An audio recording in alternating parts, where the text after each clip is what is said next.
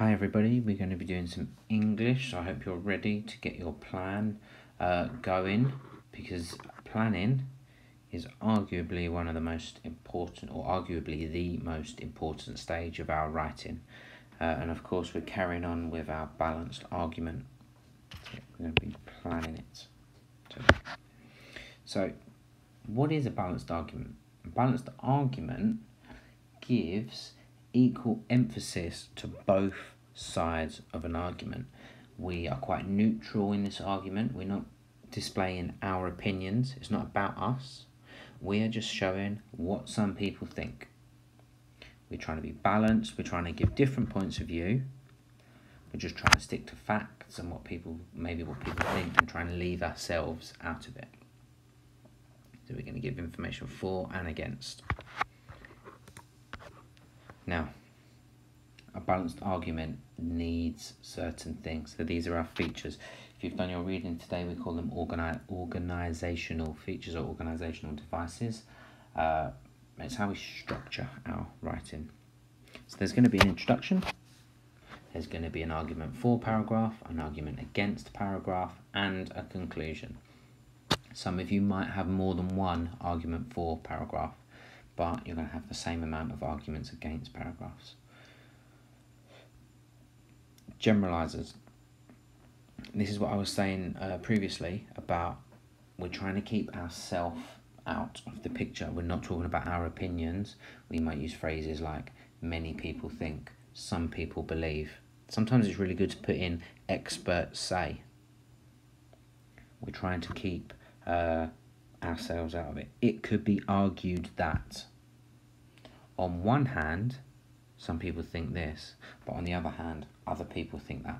It's not about I, it's not about we. We're in the third person here.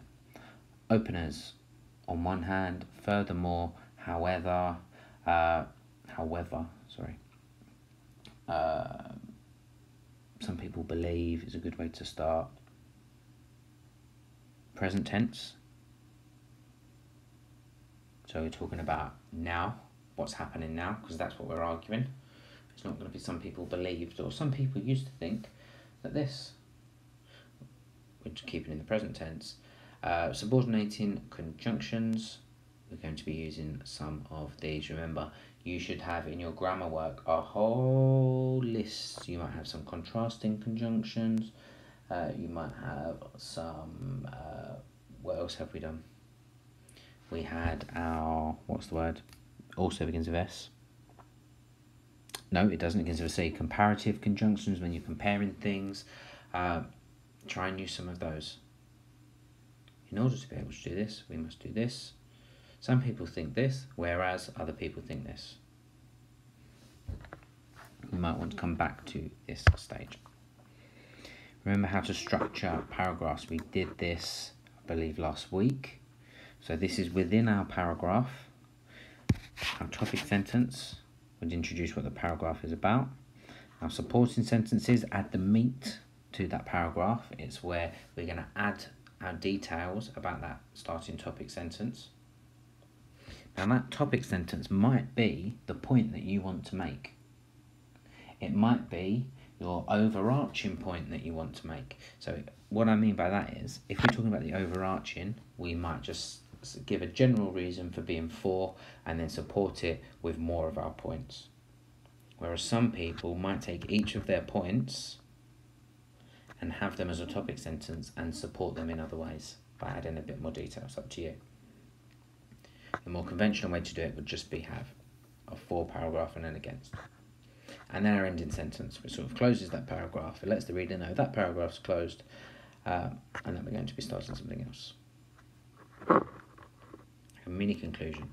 So what I'm going to show you is some examples of uh, a for paragraph and against paragraph, an introduction and a conclusion.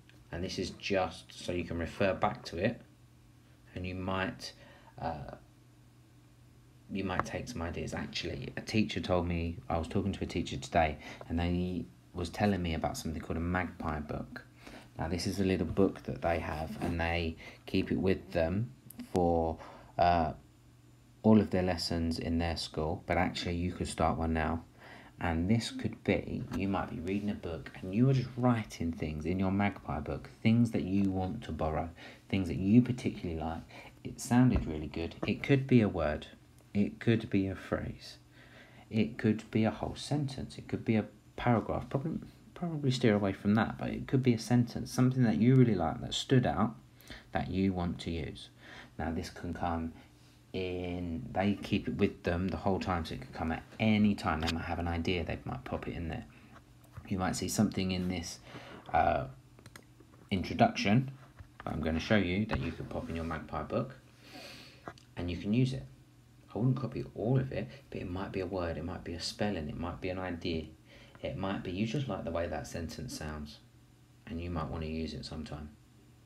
You might not know why you want to use it, but it sounded good and you wanna you wanna learn how to do that. So take that, take some words, take some techniques, write them down so you can use them. So here we have an example. I digress there. Presents for birthday says, should wrapping paper be banned? Presents for birthdays and Christmas often come wrapped in paper. General statement about what we're talking. So it's a little taster. This is a tradition which has taken place for centuries in countries all over the world and is seen as a normal part of present giving.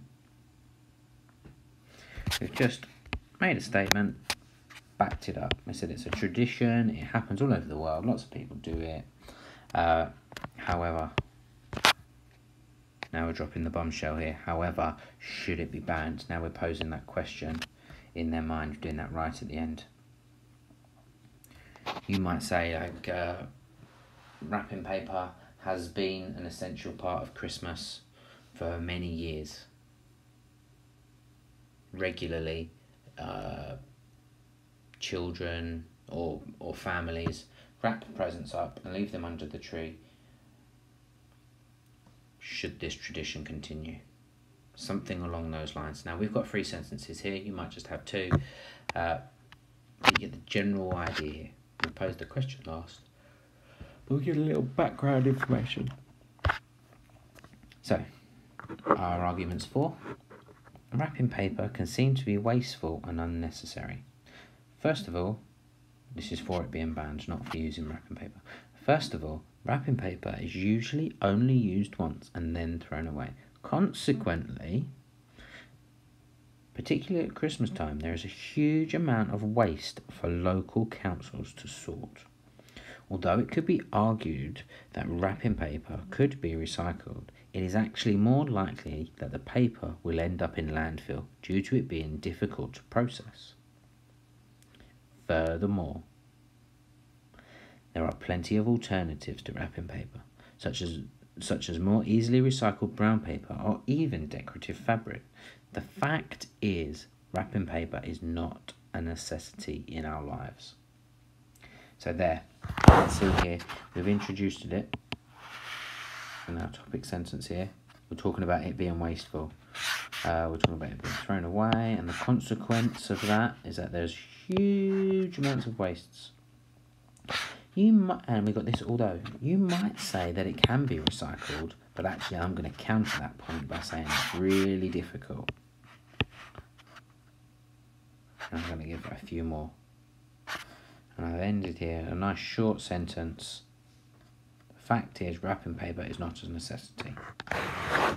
Cementing that point that it is it is unnecessary. It's needless. Hopefully you've taken some things from that. So the next one, wrapping paper should be banned. Arguments against. On the other hand, remember this flowed from the last uh, sentence, the last paragraph, sorry. There are many who believe that wrapping paper is a really important part of giving gifts. Firstly, using wrapping paper adds to the excitement of receiving gifts people liking to guess what might be inside by looking at the size, weight, and shape of what they have been given. I know this is particularly true in our household uh, because I got a really long, thin, square box. I knew what it was exactly. Shaking it around. It was in fact a golf club. But I knew that that was part of it. I knew that and I could I could see that. It was part of it, guessing the shapes. You got all sorts of different shapes, little square ones, big long ones. Some people think it's part of it. Secondly, the experience of opening the presents is an event itself. We know that people, especially children, relish the opportunity to rip wrapping paper off presents, eager to find out what's inside.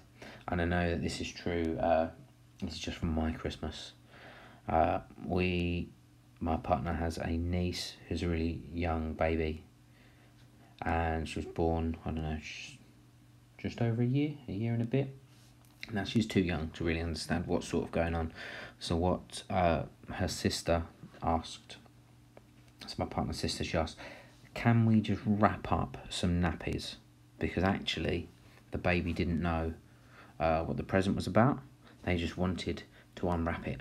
She really liked unwrapping the paper.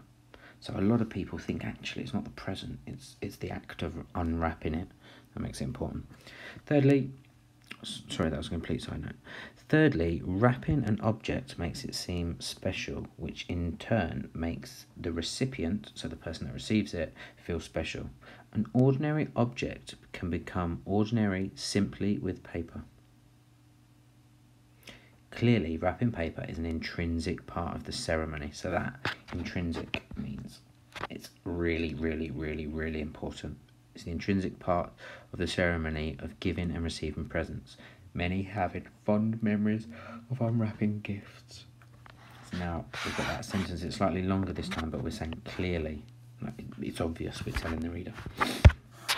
So in our conclusion, using a form of wrap to conceal presents should continue as it, as it is obviously a meaningful and exciting part of gift giving and receiving process. However, there are many alternatives to mass-produced, environmentally unfriendly wrapping paper which work just as well and it will not result in destroying the planet Earth. So here we've said, we've sort of summed up what we're saying, we've given an argument for each. So we're saying it should continue because it gives a meaningful one, however, there might need to be a compromise here because there are better alternatives than the unfriendly ones. So, I'm going to give you this example as a PDF for you to look at, for you to analyse.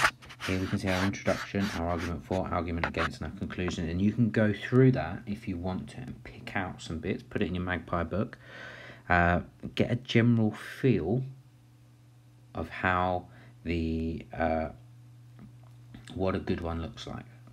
But your task for today I'm going to upload this as a PDF and your task is going to be go through and plot your reasons for and your reasons against and then a little closing statement. You may also want to make notes on your introduction. Now this isn't this isn't the final piece. I would use the planning program. So for example, uh, reasons for. You should have lots of reasons for. Reasons wrapping paper should be banned. I agree with that. So this is for is agree, disagree, disagree. So you agree that it should be banned because it's bad for environment.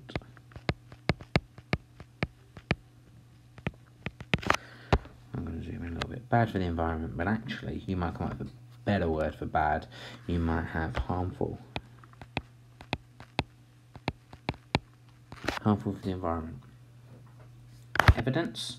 Uh, so you may want to conduct a little bit of research. It's up to you. Normally we would when we were in school. Bad for the environment or it's harmful. And what is that? So it goes to landfill. Uh, you might see some pictures somewhere. It might be uh, goes to landfill. It gets washed up on foreign countries. It's washed up on, on beaches in foreign countries. Uh, you might talk about animals.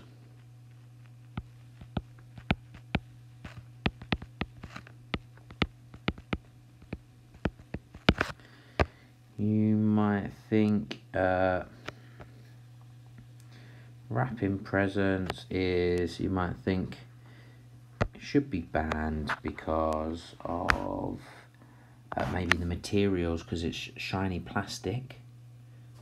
Shiny plastic it's impossible to some are really hard to recycle. I can't stop that from rolling around. So it might be hard to might be really hard to recycle and you can put some evidence for those.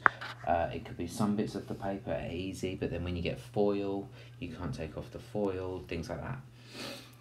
Reasons against, or reasons that you disagree that it should be banned. It shouldn't be banned because it's enjoyable. Uh, you might say it's part of the theatre.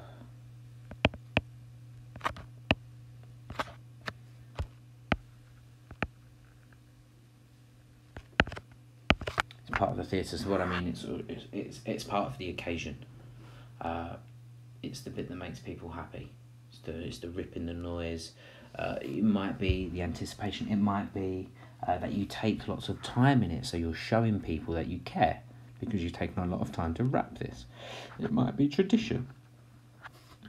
So that's your task for today.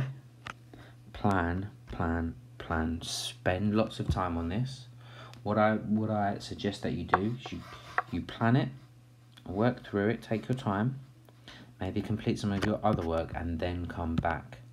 What I would do is I would look at uh, the work that I've completed over the week and some of last week, and see if any of that can help you for your plan. So print the sheet off or keep it on there, just make notes next to it. But we are going to be using this today one another thing I would suggest doing maybe at the side.